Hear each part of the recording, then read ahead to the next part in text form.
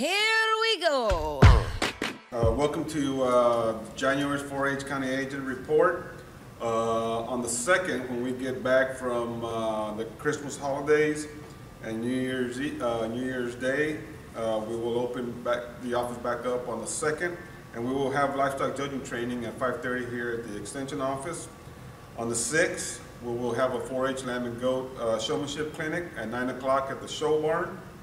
On the 8th, Dilley 4-H is meeting at 7 o'clock at the Dilley Cafeteria. On the 12th of January, uh, it's a country store entry deadline, and uh, you got your got to get your entries in by uh, 5 o'clock here at the Extension office. Uh, on the 13th is the first uh, Frio County Junior Livestock Show workday at 8 o'clock at the show barn. So we need everyone that's going to participate at the stock show to come out and help clean up the show barn grounds.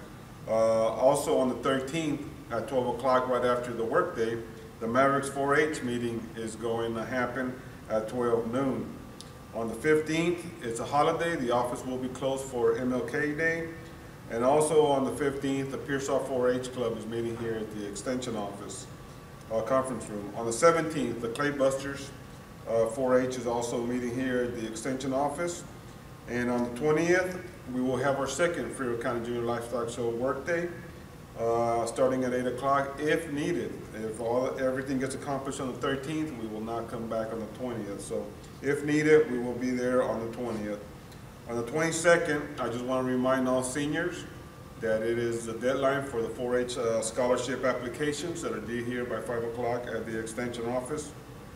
And then on the 25th is the Frio County Junior Livestock Show uh, start, and uh, we will be checking in projects from 3 to 6 p.m. So I just want to remind all 4-Hers and 4-H parents that we have to uh, get everything in place by uh, 6 o'clock on the 25th.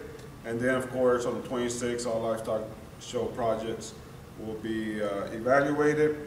And then on the 27th, uh, the Frio County Junior Livestock Show auction will start right around 3 o'clock.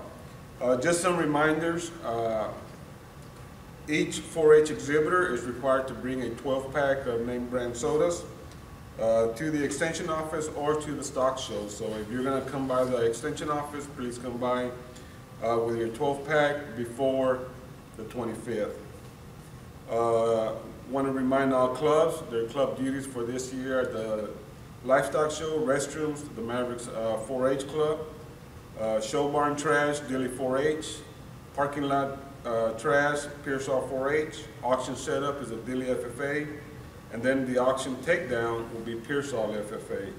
And just want to remind all 4-H exhibitors that uh, you must have attended three meetings this year to participate at the extension at the uh, County Junior Livestock Show, and also there we will be enforcing no pass, no play, and so it is a third six weeks that's going to count. So this is the six weeks that's going to count. So make sure that you're uh, passing all your your classes.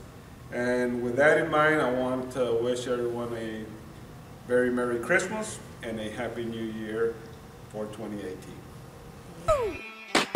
Hi, and Happy New Year. Welcome to the Family Community Health Updates. The only updates that I have for Family Community Health is if you're interested in being healthy this year, starting those losing weight resolutions, there's a program called Step Up Scale Down that starts January 8th. It's online. It is $40, but it's a 12-week program. They're going to provide recipes and workouts, and it'll be a community too that you can use and do. So um, if you're interested, register at the Step Up Scale Down website. Um, on January 4th, we'll be having a 4-H Fashion Sensation meeting at the Extension office.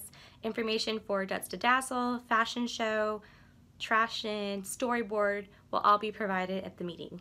And then on January 24th, we'll be having a storyboard workshop.